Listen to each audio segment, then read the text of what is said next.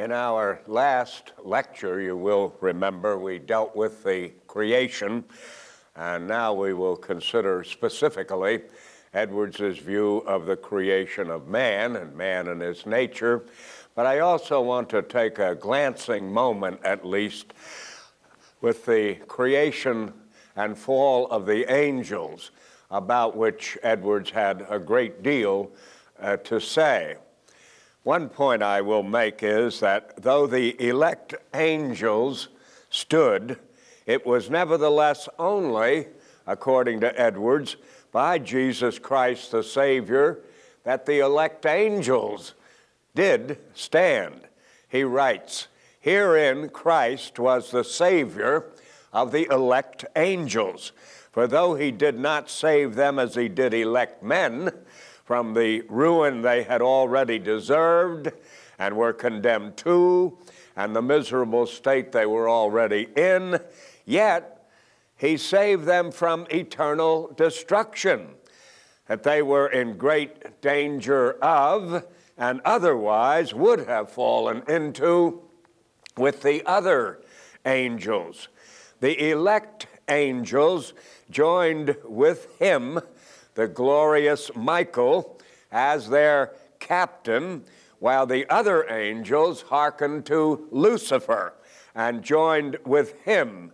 And then was that literally true that was fulfilled afterwards, Revelation 12, when there was war in heaven.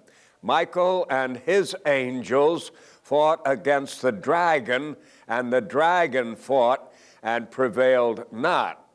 Somewhat more catechetically, Edwards puts the question and gives a sevenfold answer how far the elect angels are dependent on Christ for eternal life. First, the work of redemption is their end. Second, their test was to obey Christ in this work. Third, this was especially so in the angels' attendance on Christ in his suffering. Fourth, Christ is the judge of angels that gives them their reward of eternal life. Fifth, they are the more closely related to Christ by his incarnation. Sixth, Christ is the one through whom they enjoy eternal life. And seventh, as the perfections of God are manifested to all creatures, both men and angels, by the fruits of those perfections, that is, by God's works, so the glorious angels have the greatest manifestations of the glory of God by what they see in the work of man's redemption, and especially in the death and sufferings of Christ. Now, the angel Lucifer, who led the rebellion that brought the non elect angels who were unable to stand by Jesus Christ rather than having been redeemed after fallen, that Lucifer, who becomes the devil, is discussed in great length. One Edwardsian scholar feels that uh, Edwards had an almost demoniacal attraction to the subject. He does say a great deal about the devil, but so does the Bible. Uh, we've already noticed that Edwards preached the whole Bible, and everything that was revealed there was revealed in the preaching and the writing of Jonathan Edwards. And since the devil plays such a crucial role in the Bible, it shouldn't have surprised anybody that he was given special scrutinizing attention by Jonathan Edwards. He says that with respect to his fellow devils, it appears that Satan is an absolute monarch, the boss of the underworld. Satan, says Edwards, is more frequently spoken of in Scripture than devils spoken of in the plural number as though he were more than all the rest. His strength and subtlety are very great indeed, so much superior to the rest that he maintains a dominion over them and is able to govern and manage them, and they dare not raise rebellion against him, agreeable to Job 41 25. All the rest of the devils are his servants, his wretched slaves. They are spoken of in Matthew 25 41 as his possession. There's also a demoniacal possession of men.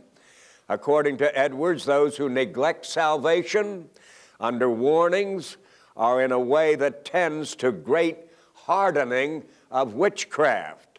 Once men become magicians and witches, they are less likely to give up their trade because they are more under the power of Satan. Christ, of course, delivered some from bodily possession by devils and also from possession of the soul, which was greater, and which soul deliverances have continued after miraculous bodily deliverances have ceased. There are different ways of bodily possession, dumb devils, spirit of infirmity, etc. The same is true of mental possession, pride, maliciousness, drunkenness, uncleanness.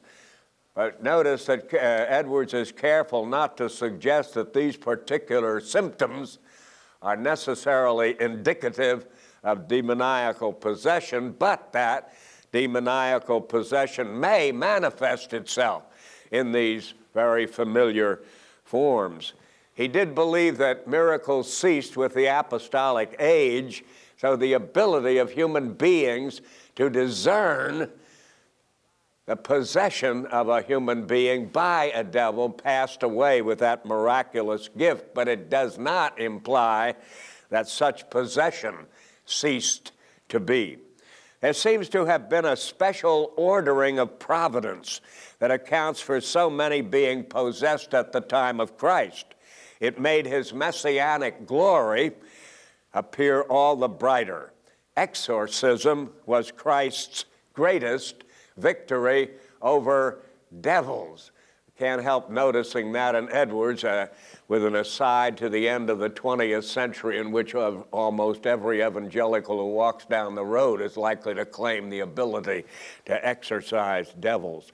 While the devil possesses the bodies of few men, nevertheless controls all souls of unredeemed men, says Edwards.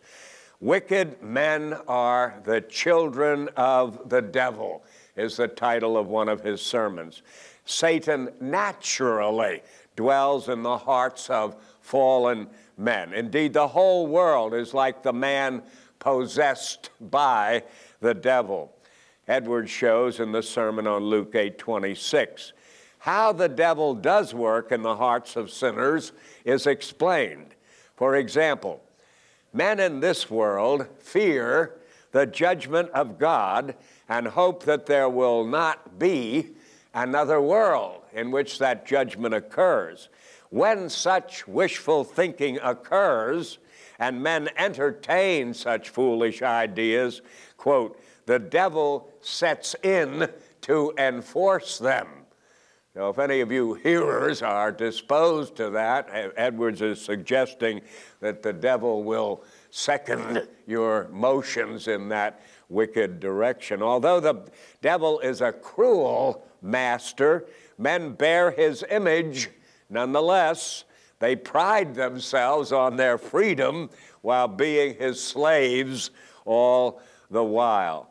But it is not the men whom the serpent does control, but those whom he does not, who interest him most and bring forth his greatest efforts to seduce. First, it is clear, according to Edwards, that the converted are released from the overpowering control of Satan. That does not imply, however, that he cannot profoundly affect the saints, even to the point of their gross denial of Jesus Christ, as in the notorious case of the Apostle Peter. The devil's main channel of influence is through the imagination of the saints. This was a common stream of thought in the Puritans. They had the same fascinated and awestruck concern with the devil, and they tended likewise to agree that his point of entry was the imagination. This is the reason he is especially successful, writes Edwards, with the melancholy, and why Edwards was constantly warning his people against that mood, particularly. It was not, however, above Satan's power to suggest ordinary ideas to ordinary persons. He's particularly active with persons in preparation for grace, seeking to be saved. The devil can simulate even the order of religious experiences, as well as tempt persons when they are under actual conviction. With saints as well as others, he can suggest biblical texts as well as their misapplication. Edwards has a good time with the way in which the devil will suggest to someone who opens the Bible at random, perhaps to Judas committing suicide, to go and do likewise, and so on. He can suggest texts as well as their misapplication, though he cannot awaken men's consciences. Edwards believed that the end of the first great awakening in Northampton was affected by satanic suggestion. The devil's chief target is the godly. However, the more he attacks them, the more he advances them. His very onslaught against their Redeemer brought their redemption. Now, quote, there is no enchantment, no witchcraft can hurt them, no black art can affect their happiness. For God holds, quote, Satan on a chain. His power is a limited power. By nature, he cannot create, search hearts, give life, give spiritual life, or prevent men from coming to Christ. When a person is converted, he is out of Satan's ultimate reach. For Christ is above the devil, and the devils are left with nothing to do but tremble at the wrath of God. Now, a word about the creation of man, we having considered somewhat the activity of angels and devils with respect to man. He had a great deal to say about that, and my chapter in Rational Biblical Theology runs some 40 or so pages. However, far more is said about man through these three volumes than about angels.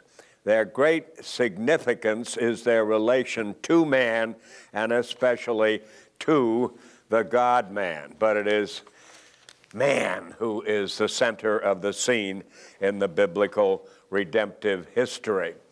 Man was created, body and soul, is now in this world, body and soul and will, after the intermediate state in which he lives in an embodied, disembodied fashion for a time, either in heaven or in hell. But his natural state and his eternal state is as a body soul creature. Aquinas had already observed that the animals are mere bodies and angels are mere spirits. The distinctive characteristic of man is that, like the animals, he possesses a body, and like the angels, a soul or spirit. In heaven, the resurrected body of saints, quote, will shine far brighter and appear far more beautiful than heaven itself. Nevertheless, it is reflection that raises man above beast.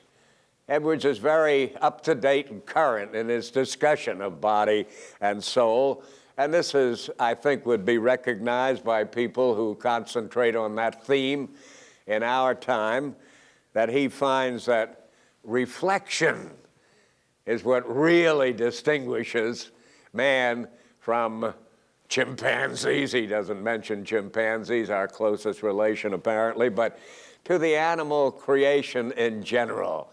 They're not really capable of reflection, though they have some amazing powers of knowledge, as we all know.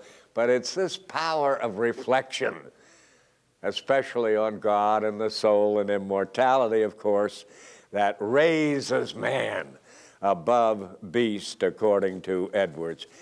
Now, how sin, which we'll discuss more particularly, its fall, the fall in the next lecture, but how sin has affected the mind of man is detailed in a sermon entitled Wicked Men Are Very Inconsistent with Themselves.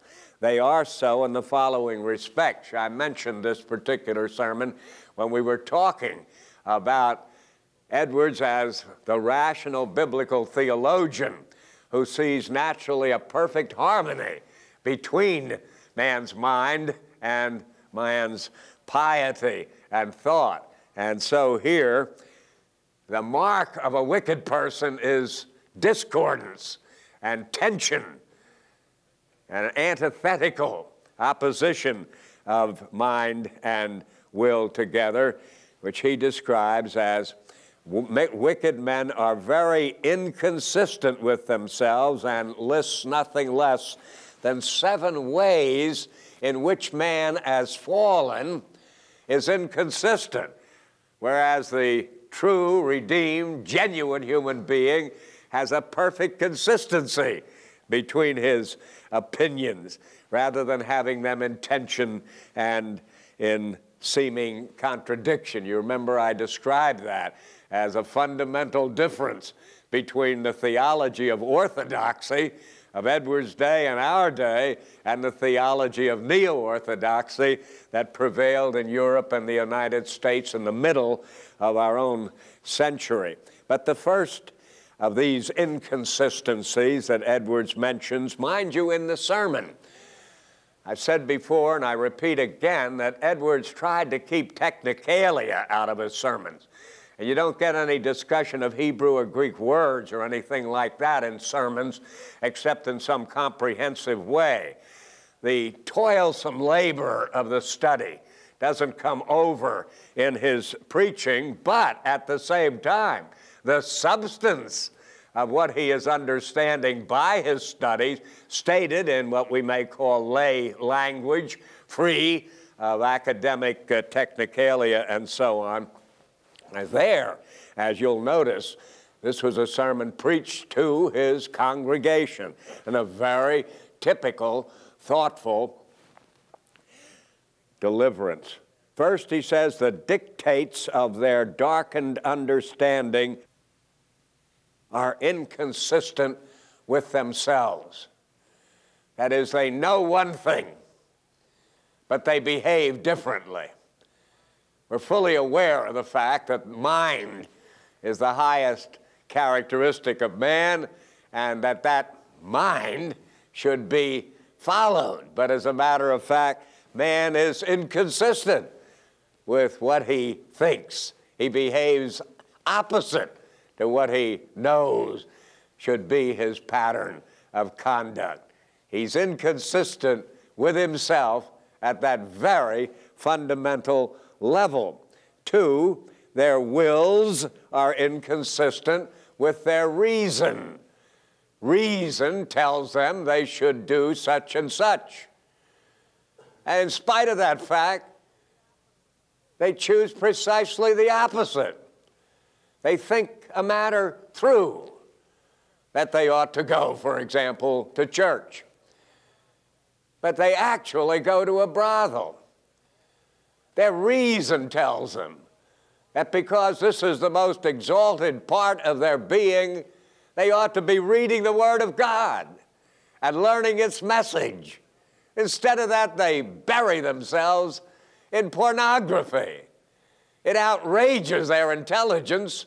They know far better, but their behavior, their actual resolutions, utterly contrary to their mental reflections.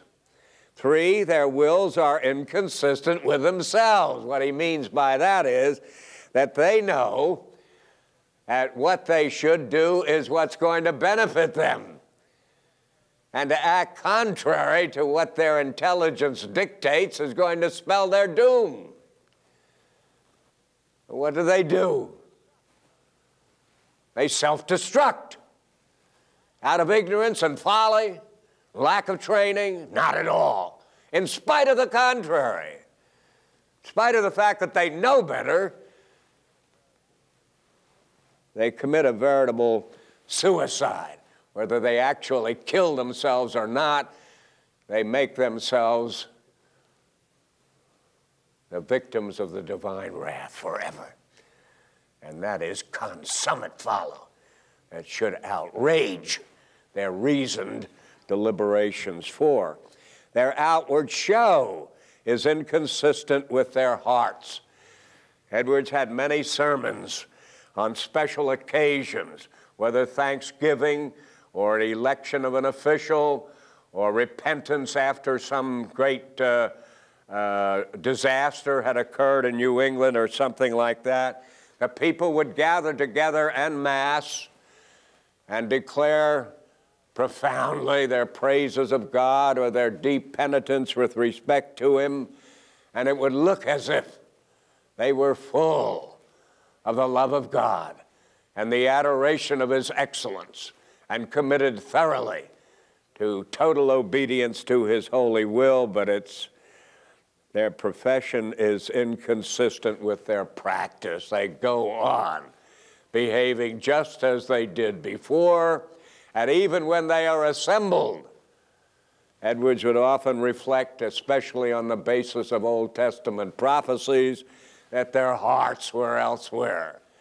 It looked outwardly as if they were a very godly people gathered together in union to glorify God while individually each one was planning his own devices, engaged in his own ruminations, and his practice would show, and even then did show to the searching heart of God, that it was utterly inconsistent with their profession. Six, their practice is inconsistent with their hopes.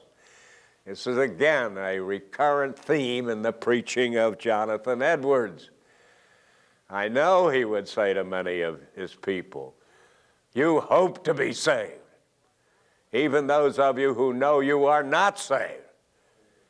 You still don't believe that you're going to perish even though you know full well that if you die this moment, as you could very well do, you would perish in hell forever. But you can't take it seriously, even though your head tells you you ought to. You still entertain hopes that later, when you're older, or have more time for reflection, or free of certain of the urgencies of your present life or something, you'd attend to these things but their practice is inconsistent with their hopes. It's their practice which is going to destroy them, even while they perish with hopes in their hearts. And finally, their practice is inconsistent with itself. Edwards wasn't the coiner of that phrase, but I gather there was an expression current in his day, even I think it was among the Quakers that this little witticism circulated, especially that the people of God pray on their knees on Sabbath and pray on their neighbors during the week. But that is what Edwards had in mind when he said that their practice was inconsistent with itself.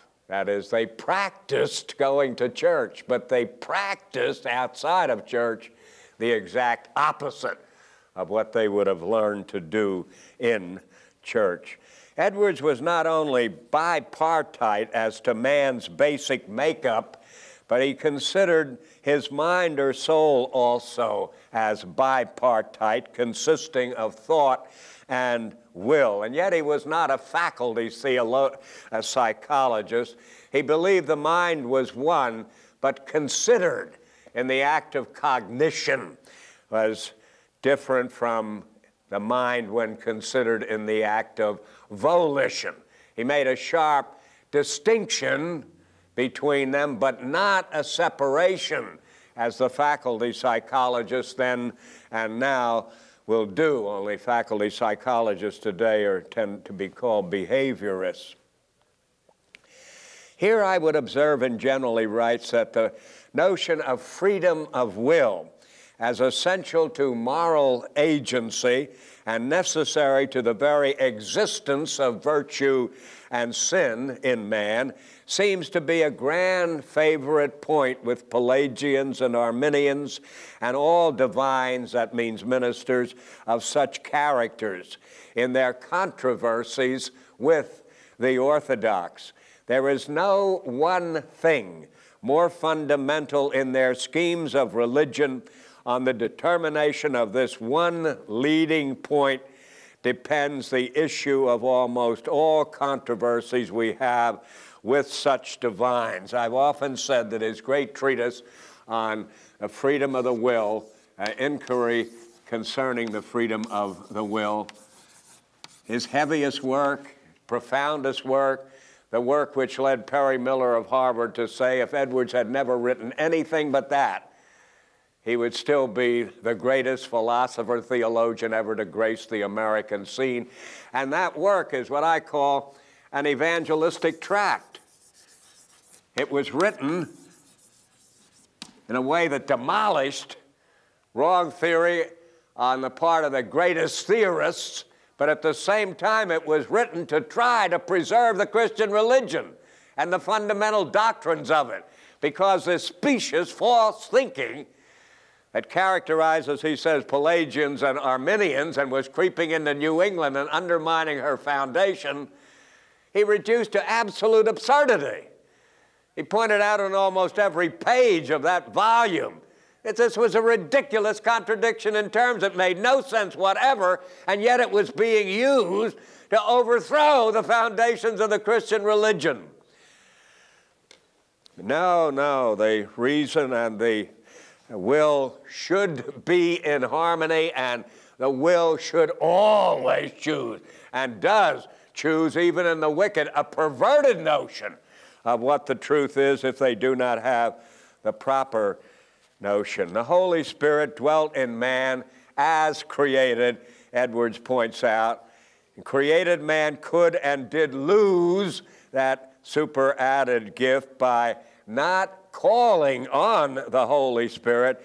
But how could man lose the Spirit of God?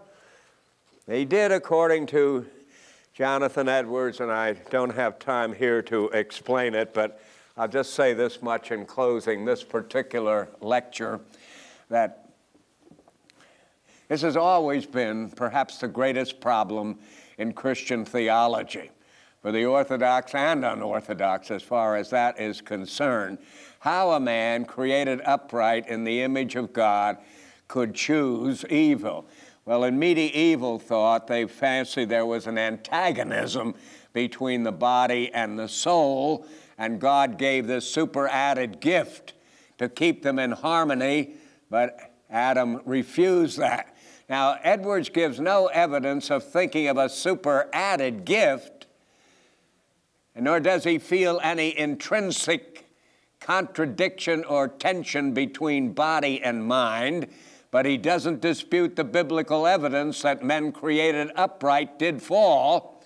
And he traces it to the fact that the Holy Spirit of God was necessary to direct the otherwise self interested concerns of men toward God.